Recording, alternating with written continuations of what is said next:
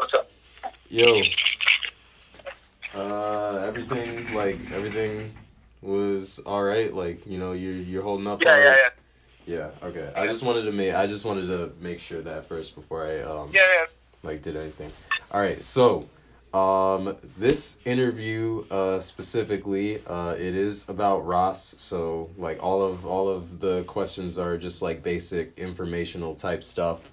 Um, so like I wanted to talk about like Raas itself and then like you specifically, you know, like how you picked it up, um, what type, you know, and, and like stuff like that. It, it's it's supposed to be pretty basic. Um, and then of course uh, this is being recorded because I have to submit it to my professor, but she's the only one that's gonna hear it. So, um, so let's so let's get this started. Um, so my first question uh, for you, Roshan, is uh, before you joined Raas here, um, did you do any like other types of like formal dancing?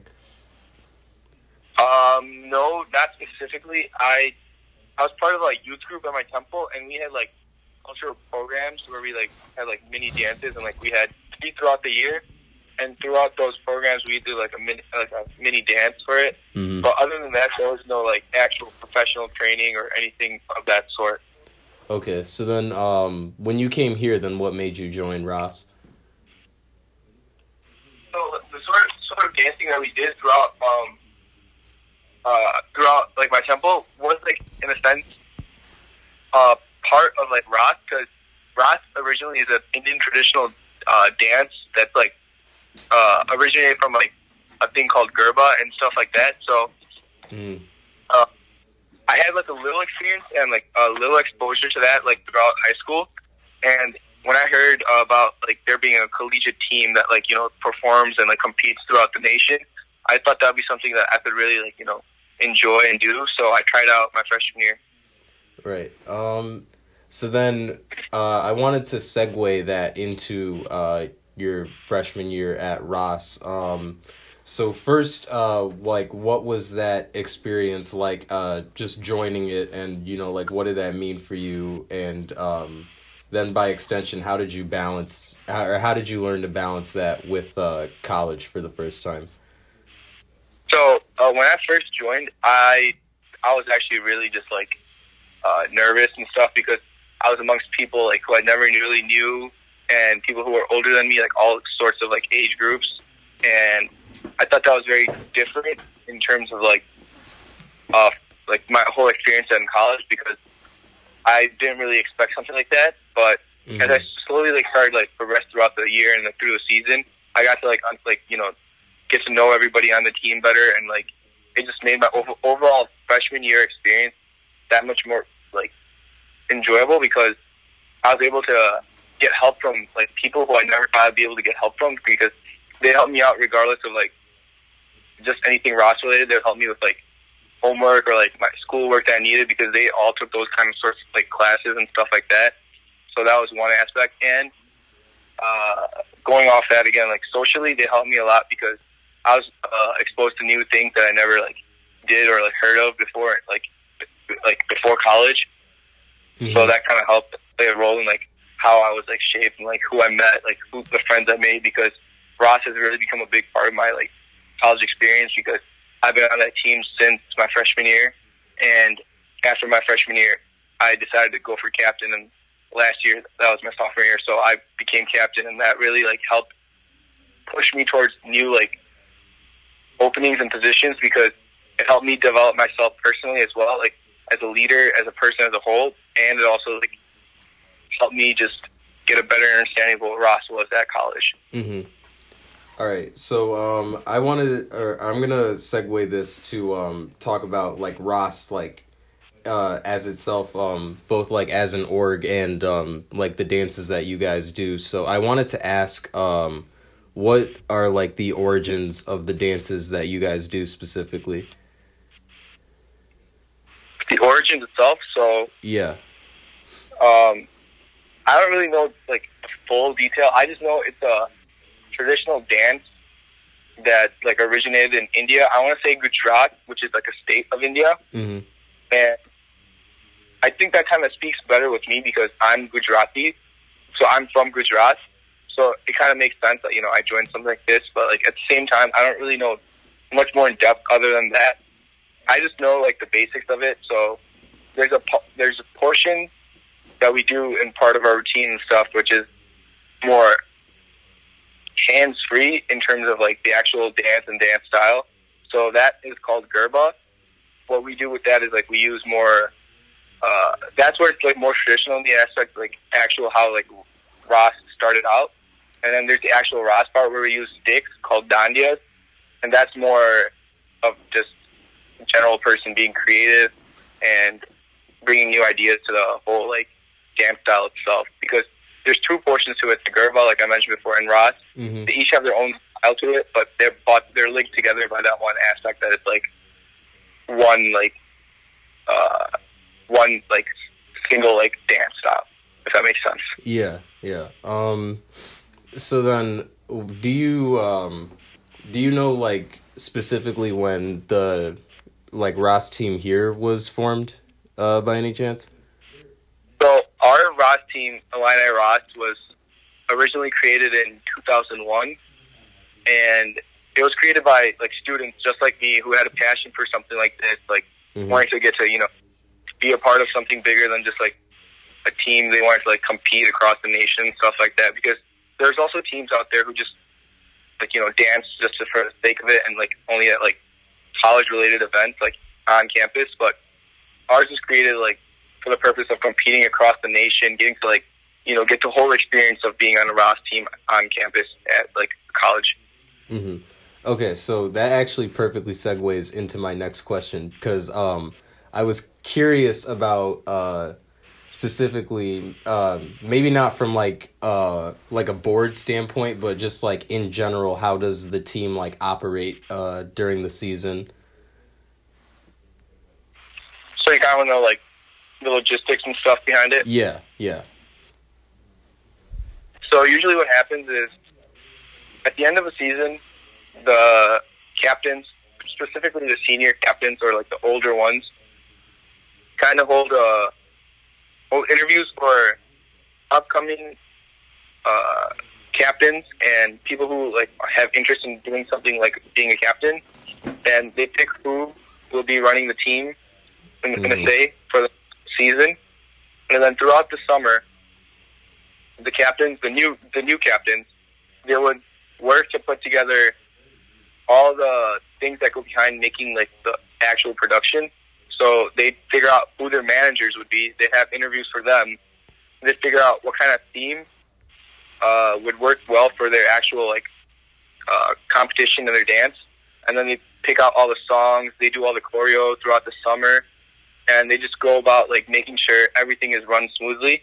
And then come like August, they'll have tryouts for the incoming freshmen and old old Raas members who maybe want to join the team again and be a mm-hmm. part of it. So they'll hold tryouts and they'll hold clinics to teach the tryouts, and then they'll have the tryouts itself. And then once the team is formed, they will go over the logistics with each and every like person. Be like, oh, this is what we do. This is what we are. This is like how much it will cost. This is like where we'll be going. This is the kind of gist mm-hmm. of like what's going to happen throughout the year on this team like basic informational kind of stuff. Mm. And then and then come like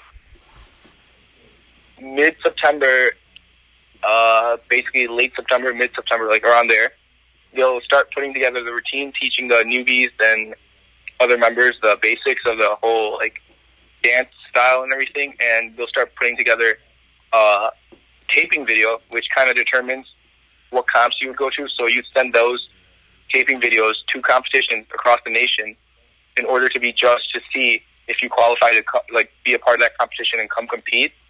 And then once that happens, once we find out what comps we're going to, then we actually start progressing on with our actual routine, and then go mm-hmm. from there and move on to the actual like full routine.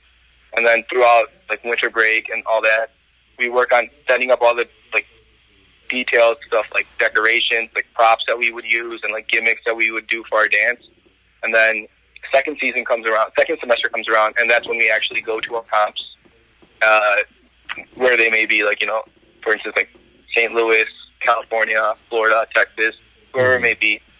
So that's what happens, and then at the end of the season, the whole process repeats over again. We'd have the captains that were just leading the team decide who the next captains are going to be, and then we start the whole process over.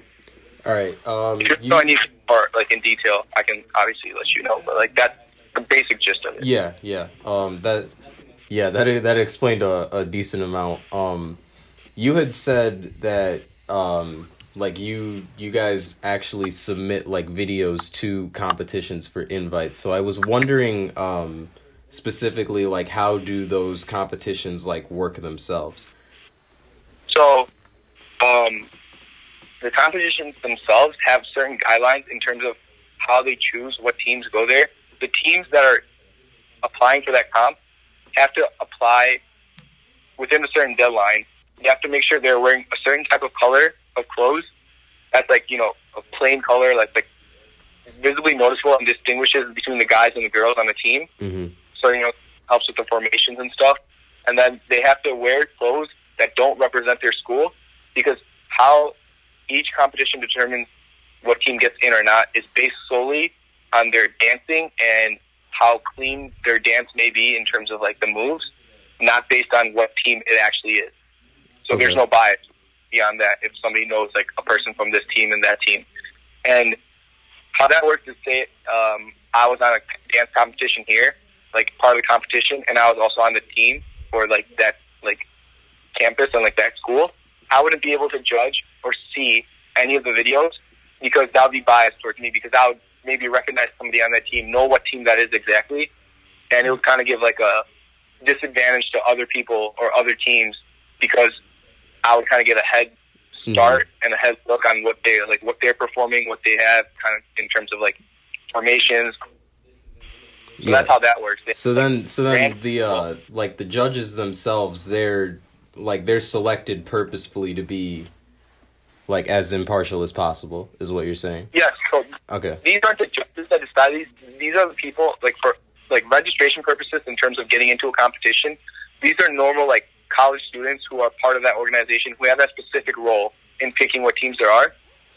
But as for the actual judges who judge the actual like routine you're about to perform on stage the day of the actual pro- like competition, Mhm. they are they're alumni who are of any school who have been experienced with the actual dance themselves. So say they have like captainship under their like belt, so they have experience in terms of like what happens, what they know, and like what goes on in the actual routine and like the show. And there would be people who have like no bias towards like who's competing. So like say I was a judge and my t- team was competing at a competition, I would not be allowed to judge at that competition because I would already have bias towards my team. Mm-hmm. That makes sense. Yeah, that makes sense. Um, so what uh, if you could describe like the atmosphere at a at a typical Raas competition? Um, like what what would you say it's like? I'd say it's hectic, it's amazing, and it's very entertaining all at the same time. Hectic in the sense that, say you have a job and a position to fulfill on your team, you have to make sure all the things that need to be done are done at a certain time in terms of like getting the props ready for your actual show, making sure all your team members arrive safely to the competition. Maybe you fly or like, you know, travel by a car and Mhm. make sure you you yourself are understood on all the rules and regulations that that comp holds in terms of when like you have to do a certain thing, what times like tech rehearsal, like actual rehearsal and stuff like that. That's the hectic portion of it. But what was my second word I said? Sorry. I think you said.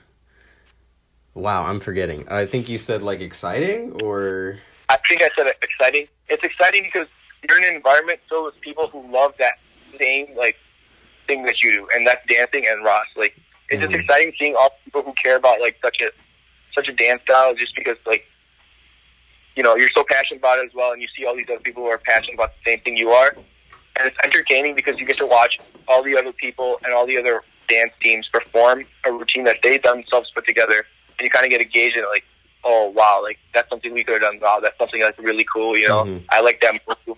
Like it's in that sense, that's how it's entertaining. Right. Okay. Um. So I'm gonna I'm gonna take it back um from competition specifically to practices. Um. so could you could you take me like through like what your practice schedule for a typical week is like, and then what you guys typically do during your practices? Like I know that uh, me me and Phil were like there for one, but I don't think that counts. No, no, you guys were there for tryouts. So those yeah. okay, so that And- definitely yeah. doesn't count then. Yeah, those are clinics, and those are more laid back and chill in a sense because we don't want to scare the newbies who are trying out or trying to get a gauge of what the competition or not competition, the dance team really is. Hmm How actual practice works once you're on the team, we have set days where we have practices and set times. So usually how it works is we have it on Sunday, Monday, and Wednesdays from 9 to 12, depending on what we need to get done each day. But it's that late because everybody has classes, they have other obligations, and nobody has a set schedule that's the same and runs the same time as Mhm. anybody else. So we have it that late. And at each practice, we usually go through and teach them a song. Depending on how much time we have, we teach them a song and the choreo to that song. And we run through that song a few times and make sure that everybody knows what's going on. And we do that throughout the week over and over again. And then on days we don't have practice, usually this is the beginning of the year when people are still fairly, fairly new to the core stuff. We have videos due for like each new dance and song that we learn. So they kind of have that like memory going and they're, they're engaged in it. And so they kind of get that muscle memory going as well. Right. Yeah. And then come comp season, depending on like what comp it is and like how well we're doing at that point, we'll have practice like every day basically, but maybe a shorter time. So say a week before the comp actually is, we'd have practice every day for about maybe two hours instead, just going over anything that we need to do, cleaning anything that we might need to clean in terms of moves and choreo, and making sure everybody is like ready and set to go in terms of what they need to do on the actual day of the comp and how they feel. All right. Um so um traveling specifically because um I know that for most competitions you guys are um on the road uh for most weekends. So I wanted to ask uh what's it like traveling so frequently and um I guess how do you like work around that? So traveling usually doesn't happen until either Thursday or Friday before the actual competition, Mhm. depending on if we're flying or like taking a car. But what we usually do, say if we're flying, we go to somebody's house in the suburbs, chill there for the night, and then early the next morning we'll have our flight to a whatever comp, whatever city it may, it may be. We get there, we check in, check into our hotel, and uh, just relax until you know the set time that whatever like the competition starts at.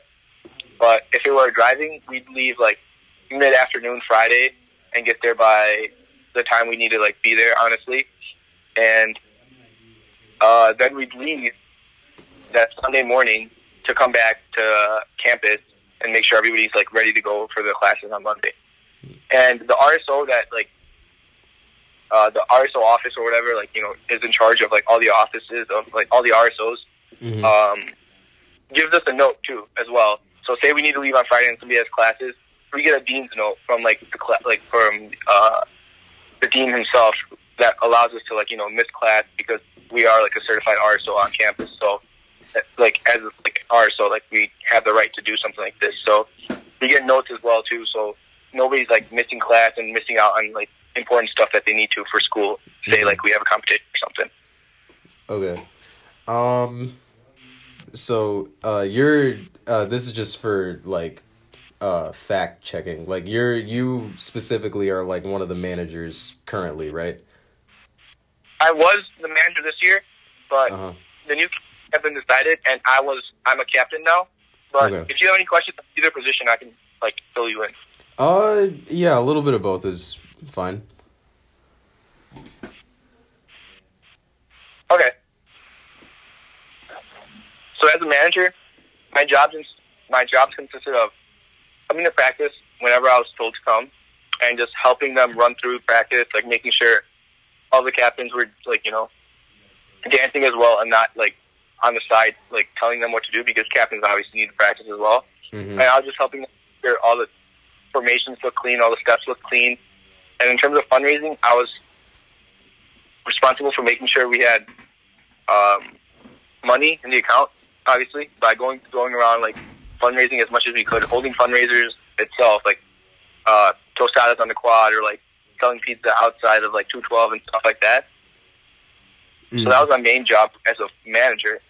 And as a captain, my, my jobs are applying to competitions, doing, um, creating choreo, coming up with the theme, making sure we have a costume ready for the actual performance, and finding a DJ who will help make our mix, and also putting together a team by holding tryouts and making sure we have a set team ready to go for an actual competition. All right. Yeah. Okay. Um so my next question um specifically what are your like favorite memories as a uh like as a part of Raas? My favorite memories? Yeah. I, just anything you can pull from. My favorite memories would have to be whenever we'd have team bondings, we just get together, we'd have food, we'd have drinks, we just have a good time, you know, chilling with the whole team, getting to have like a less serious kind of vibe because, you know, at practice things could get serious and like, you know, the tone's very serious. And this is like very informal. You guys can just talk, do whatever you want. Nobody's telling you like you have to do this and that. Mm-hmm. Those are the times where I think I had the most fun because everybody was just talking to everybody. It was like a family basically rather than a team and that's how it's been every year for me.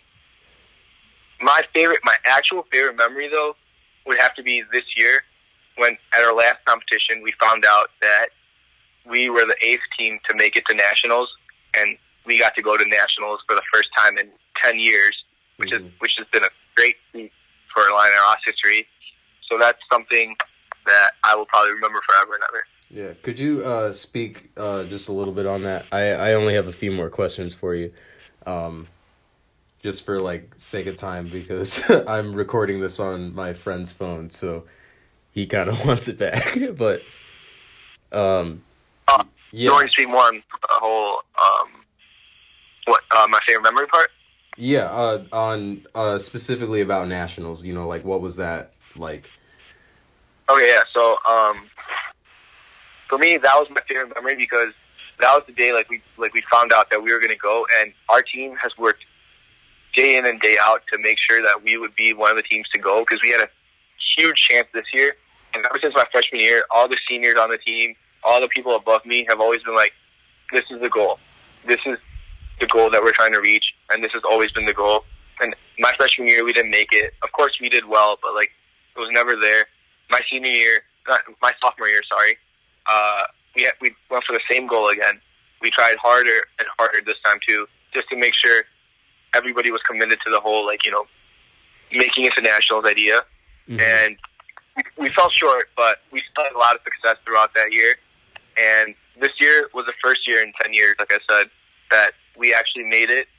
And I think it was mainly because of like how we lined up against every other team and what team we competed against. But nevertheless, like we made it, and it was probably one of the best moments in Illini Raas history for me, at least, because I've been trying since my freshman year to get here, and it finally happened. So you could say like I was really ex- like excited for that, like when mm-hmm. when I found out.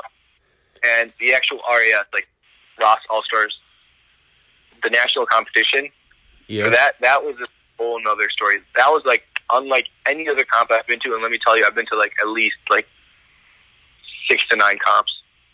And this comp was just very well run in terms of everything they had going on for them. The mixer, the part where like all the teams interact with other teams, was just very well run. It was very smooth. They even had a, little collaboration dance where all the teams got put together with different teams, and team members would come up with their own little choreo, and they like dance to that on stage right before the actual competition. Mm-hmm. So that kind of that was kind of interesting because it kind of made me feel less nervous about dancing in a sense and about just like the whole competition because it was kind of scary to be honest seeing all these teams go up like all these teams are better than us go up against like someone like us mm-hmm. but that kind of made everything the whole like idea and process that much like better because it just eased me down and calmed me down and just like the whole experience, like seeing like the teams there was awesome because, like I said, like comps they're just very entertaining, and I love watching each and every team perform because they had something new to bring to the table. Like, sure, I'd see them throughout the whole semester at each comp that we went to, or like all the live streams that they would have, but like seeing them live, like the top eight teams, sorry, seven because we were the 8th Mm-hmm. the top seven perform and bring something new to the table. That's something I'd never seen throughout the semester. It was just a mind-boggling experience because I was like, I did not know they could take it any farther than they already have, and then they just proved me wrong again. So that kind of inspired me to, you know, take my team to the next level for like the future and next year since I'm going to be captain. Mm-hmm. And that was just one of the most like eye-opening experiences in a sense because that kind of showed me like this is what we need to do. This is where we need to be if we want to be one of the best. Okay. Um, that actually perfectly segues into uh into my final question that I had for you, which was um, where do you uh plan to take the direction of uh Raas next year, and then where do you hope to see it go in the future? Um, my goal, and I told my co-captains this the moment we found out we were co-captains, is the same as it always been my freshman year to take this team to nationals. Sure, we got there this year, but that doesn't mean anything because we can get there again, and we can make sure we are the ones to win that like national trophy. Mhm. How I plan to implement that is correct all the mistakes that we've had in the past, all the mistakes I've seen, all the mistakes I've created as a captain in my previous years, and make sure that we don't make the same like mistake that we have right now by just thinking everything out and making sure each captain is held responsible for their own job and their own position that they're supposed to have. What was the second part of the question? Sorry. Um, and just like in general, you know, like where do you hope the team to go in the future? So, by me doing this and implementing this sort of um, atmosphere, like I hope to inspire others younger than me to kind of, you know, take initiative, like as I have my sophomore year. Was- I was captain my sophomore year, so like take initiative to make sure that they have what it takes, and they want to make sure, like they want to like go to RAS, not just be another team just that's just out there because we've set ourselves up at this high like of a level, and we don't want to lose the momentum going on from here. All right. Well, that was uh that was all the questions that I have for you. Um I know you got uh Avengers Endgame to see, so I will allow you to uh enjoy the hell out of that experience cuz I saw it last night and it's it's so good. Amazing. all right, all right. Yeah. All don't right. ruin it for me. Of course, yeah, no, I, I better stop talking before I start spoiling everything. But um, yeah, no, I will uh, I will see you uh on Monday when you get back, Yep. and you know if you need anything.